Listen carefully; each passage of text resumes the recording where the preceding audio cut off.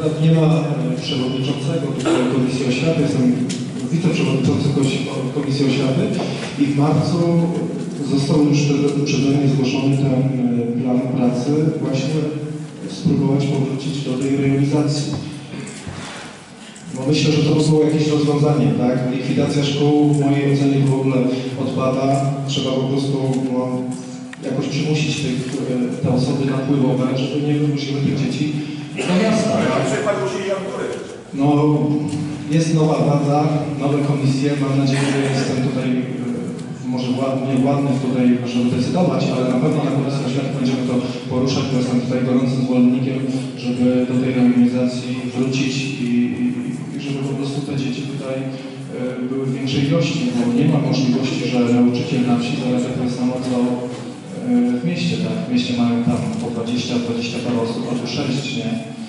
Wydaje mi się, że tutaj, tak jak Państwo zasugerowaliście, no trzeba tutaj tą sprawą się zająć i to będzie na Komisji Oświaty w marcu na pewno podnoszone. Nie wiem, czy uda nam się tę realizację w jakiejś tam formie wprowadzić w tym roku czy od przyszłego. Ja sobie nie wyobrażam, że szkoła by mogła tu u Państwa przestać istnieć czy w Adamowie, czy w Karpicku, bo to są w sumie te trzy szkoły, które najbardziej jest odczuwalny odpływ dzieci. Nawet we Wroniawach jest bardzo dużo dzieci wywożonych do Wolsztyna, tak, że tam też jest problem się e, zaczął pojawiać. Nie? I później mamy takie, drodzy Państwo, duże molochy, jak szkoła numer 3, że jest 800 dzieci, tak? a tutaj jest za mało. Także jeszcze raz chciałem po- przypomnieć, że, że w marcu będziemy do tego tematu podchodzić, zobaczymy jakie będą ustalenia członków komisji i myślę, że tutaj Pan Burmistrz też będzie ładny, żeby tutaj się tą sprawą zająć. Dziękuję. Oczywiście tak, chociaż temat nie jest, nie jest łatwy, to sobie musimy z tego zdać sprawę, bo nakazanie, przypisanie y, dzieci y, do okręgu na pewno będzie też no, kino ma końce. Y, mieszkamy, uciekamy spoza, z po, poza Wolsztyn, ale pracujemy w Wolsztynie czy w okolicach, no i często bywa tak, że te, że te pociechy z dziećmi jadą tam, gdzie rodzice pracują.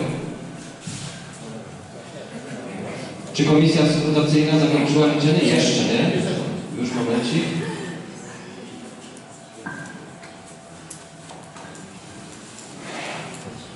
Właśnie.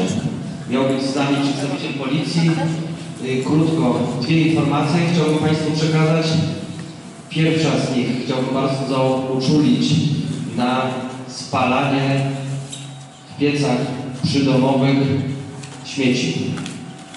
Segregujemy śmieci albo nie, tak jak każdy z Państwa zadeklarował. Natomiast policja, jak również Urząd Miejski, Starostwo, Gmina Siedlec i Przemęt przystąpiliśmy do akcji takiej informacyjnej. Zwracamy uwagę wszystkim mieszkańcom na to, aby w przydomowych piecach nie palić śmieci, nie pozbywać się tego. To nie są urządzenia przystosowane do tego. Nie ta temperatura, nie ta technologia, to co prawda znika nam z worka, ale niestety spala się niecałkowicie i spada to w różnych oparach na nas. Są właściwe służby, które są w stanie wejść na naszą posesję i nam skontrolować, czy do takich spraw dochodzi, czy taki precedens ma mie- na miejsce. Druga rzecz, zapewne słyszeliście Państwo o problemach, żeby nie powiedzieć aferze, jaka miała miejsce w Adamowie. Nielegalne składowisko nie tyle odpadów, co substancji niebez, niebe- niebezpiecznych, chemikalia. Przestrzegamy przed pochopnym podpisywaniem y, umów z nieznajomymi często osobami, które obiecują łatwe, szybkie pieniążki, a bo na chwilę potrzebuję jakieś miejsce do składowania i przywiozę tylko coś, co za chwilę niby będzie przeładowane i- kolega to wywiezie.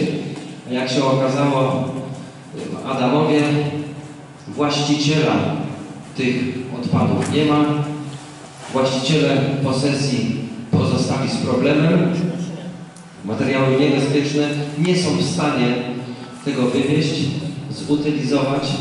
Olbrzymie pieniądze na to zadanie będą musiały być wyasygnowane.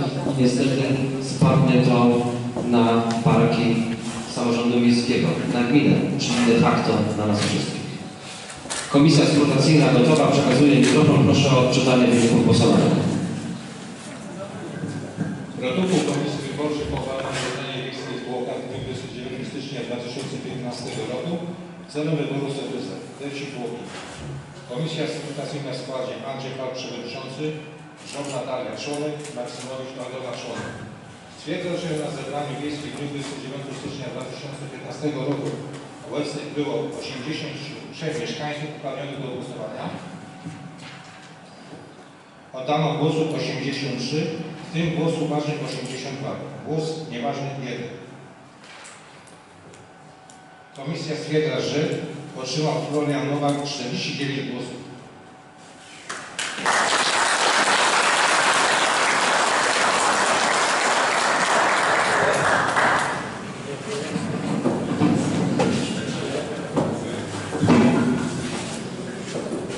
Gratuluję panu sołtysowi.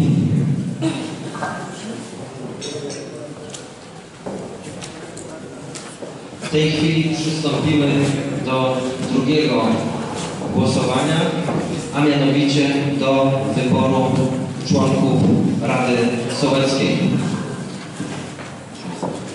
Zgodnie ze statutem Rady Sołeckiej liczba tejże Rady może wynosić od 3 do 11, do 11 członków. Sołtys automatycznie jest członkiem Rady Sołeckiej. 快！